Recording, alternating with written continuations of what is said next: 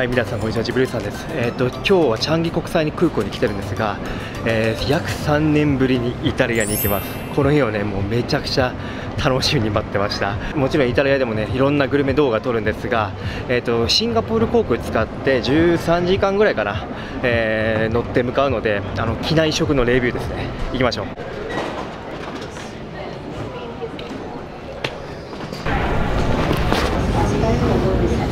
セキュリティチェックを終えてあとは搭乗するだけですね。ちょっと早めに来たんであと15分ぐらいかな。今もう午後10時半なんで本当にもう搭乗してすぐ寝るって感じだと思います。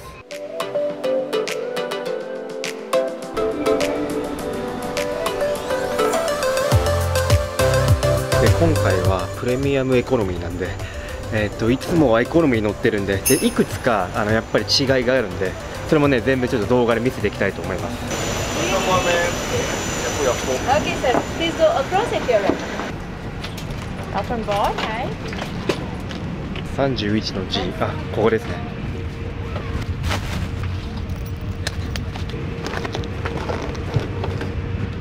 はい座りましたねあの思ったのはかなり広いエコノミーと比べて広くて右側にリモコンがあって、えー真正面に液晶画面ちょっと遠いかなちょっと遠い気はするで左にあのリクライニングの位置が調整できて。で前の方にこれまたエコノミークラスにはないノイズキャンセリングヘッドフォンですね。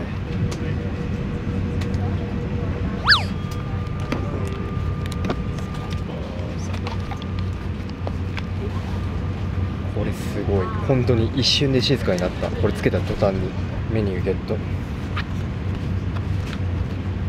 これ見るとアメニティは聞かなきゃもらえないらしいですね。なんか昔はみんなで配ってたらしいんだけど。でドリンクはまあビールとか飲むとして今日夜食あるのか。もう12時近いけど夜食とあと朝ごはんですね。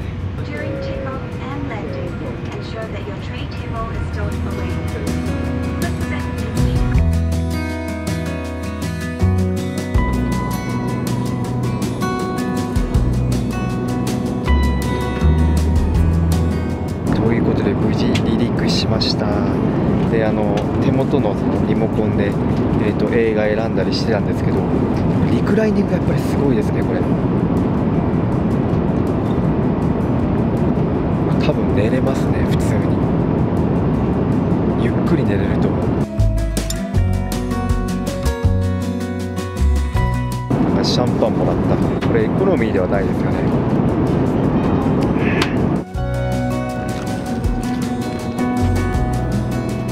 でメインは魚鶏、えービーフ。選べたんで、えービーフにしました。でこれ食べる準備する中で気づいたんですけどあのやっぱり机がでかいです。普通のエコノミーより断然机がでかい。今ねリクライニングも効かしてる状態なんですごいね心地がいいですね。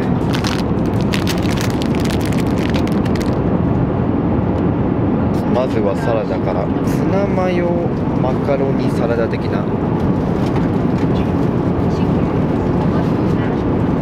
まああの皆さんが想像するような味です。ちょっとマカロニがあのふにゃふにゃな感じはする。ほとんど味付けされてないんじゃないかな。本当にツナのツナの味だけって感じですね。で次メインディッシュの牛肉。ちょっと硬い気はするかもしんない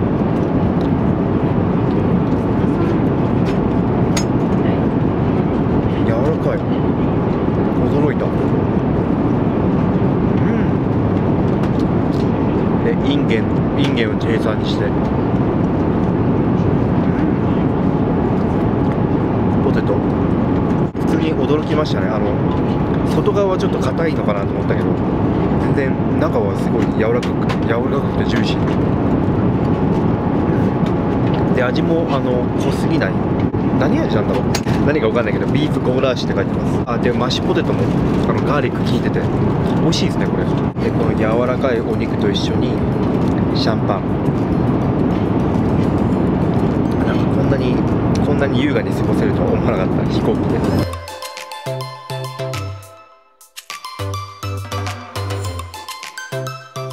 でもうね一通り食べたんで、えー、とちょっと映画見て、えー睡眠とって明日の朝ごはんにお会いしましょう。はいおはようございます。今シンガポール時間午前10時半。結局8時間ぐらい寝れた。ということで朝ごはんです、えーオムレツナシレマ、まあ、マレーシアの料理ですね。ナシレマあとビーフンから選べたんですがナシレマにしました。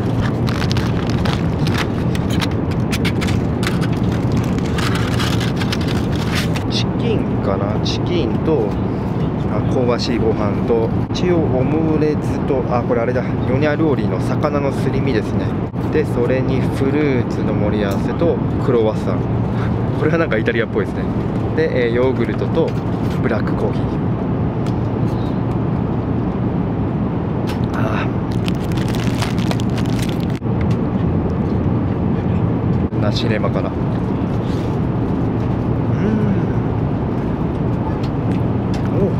お普通にめちゃくちゃレベル高い。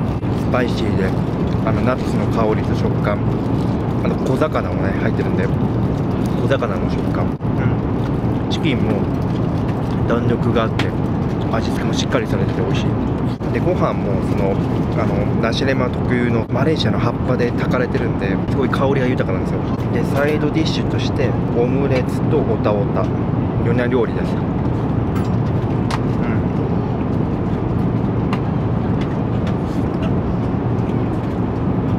これはいい朝ごはんだ。クロワッサンも生地が生地がカサカサカサカサじゃないな。あの生地がカリカリで美味しい。で今フライトステータスによるとブルガリアの上空ぐらいかな。であともう2時間ぐらいで、えっとミラノ着くんでジョン・ウィックの続きを見て朝ごはん食べつつって感じですね。Thank you for flying Singapore Airlines, a member of Star Alliance. はいということで到着しました。ミラノ世界旅行以来なんでもう本当に3年ぶりぐらいすごいねテンション上がってます。で、えー、とまだ午前6時半なんで外は暗い感じですね。でウシータっていうのかなあの出口ウシータに向かってます。到着の2時間前ぐらいからイタリアグルメのことでもう頭がいっぱいだったんですがもうね早くもよだれがやばいですね。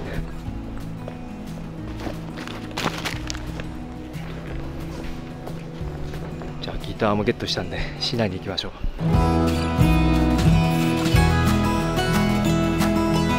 でこれからの予定ですが、えっとミラノの市内の方に行くんですがあのチャッコっていう僕がもうイタリアで一番好きなジェラート屋さんに行きます。もうねいろんなジェラート屋さん行きましたがそこが本当に一番美味しかった。なんで今、えー電車乗り場に向かってる感じですね。でシンガポール航空のあのプレミアムエコノミーのあの最終的なまとめですがあーまあ多分一番みんなが気になるのはそのエコノミーからプレミアムエコノミーに何万円か払ってもねアップグレードする価値はあるのかどうかってとこですよね。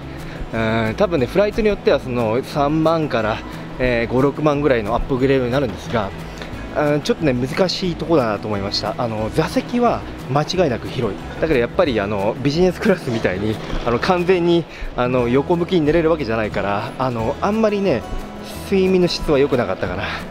あとその足足の部分にもあのリクライニングみたいななんなんて言うんだろう。あのこうなるやつがあるんですけどもうちょっとこうなってくれた方が足がねあの心地いい感じになるかなと思いました。ただご飯は美味しかったかな、うん。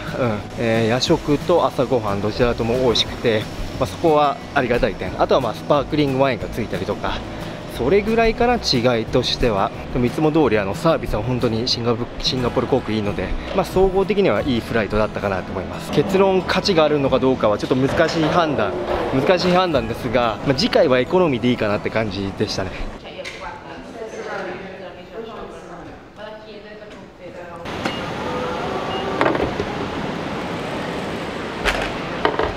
えージェラート屋のチャッコまで1時間ぐらいかな。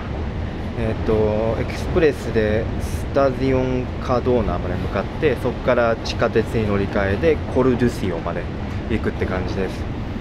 でね全部の工程で15ユーロぐらいだから2000円ちょっと、まあ安くはないけどなんか日本と同じ感覚かな。関空から大阪とか行くと結構あの1500円とかしちゃうんで。でこのチケットをねちゃんと打刻しないとあの罰金取られちゃうんですよね なんでそれをちょっと忘れずにさっきやってきてあとはプラットフォームであのコーヒーメーカーがねすごい変わってたね自販機で豆をひいてる感じもうさすがイタリアって感じですよねもうコーヒーのこだわりがすごいんでしょうね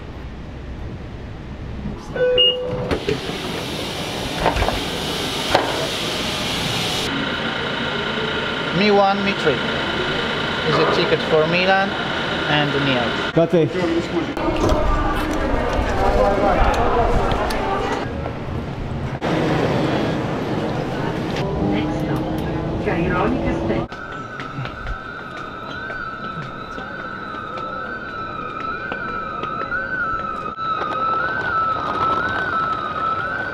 はい、駅出てドーモの方にやってきました。超久しぶりだけどいいねやっぱり。めちゃくちゃいい。そして相変わらず鳩がすごいいる。うわーでかいなやっぱり。あ本当になんかイタリア来た感じが しますね。でちょっとねあの今日実は9時25分からベネチア行きの電車乗るんで時間がないんですよ。なんで、えー、と早くそこのそのあのジェラート屋さんに向かって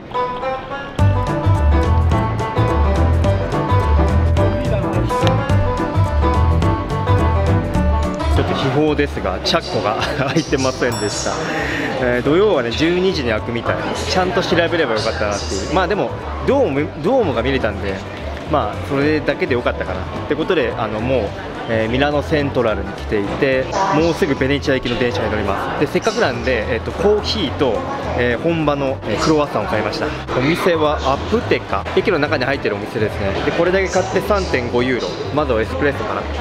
おおもう香りが強い。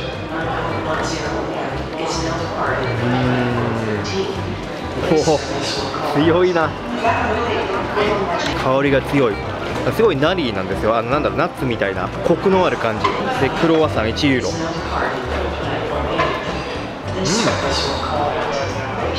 ん。あんまりカリカリはしない。でも中身はふわふわだしどことなくオレンジの皮なのかな？オレンジピールみたいな。こんな香りがする。ですごいねバターが効いてますね。うん。値段にしては悪くないと思う。でこれ僕初体験ですね。2.5ユーロなんでちょっとお高め。う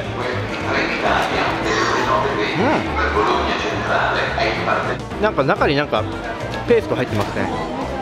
何なのかは分かんないけどこれもまた柑橘系のフルーツの多分オレンジピールかな。でもやっぱりこれも外側はもうちょっとカリカリの方が僕は好きかな。そろそろ時間なんで ベネチア行きの電車乗ってって感じですね。なんでこの動画はここで終わりにしたいと思います。ちょチャックに行けなかったのが非常に残念なんですがあのまた次の機会でって感じですね。でそこは本当に美味しいのであのぜひ行ってみてください。次の動画はベネチア編なんで、えーそれもぜひお楽しみに、えー登録まだの方はチャンネル登録とあと,、えー、とベルマークを押していただいて通知が行くようにしてもらえれば嬉しいです。ではありがとうございました。さよなら。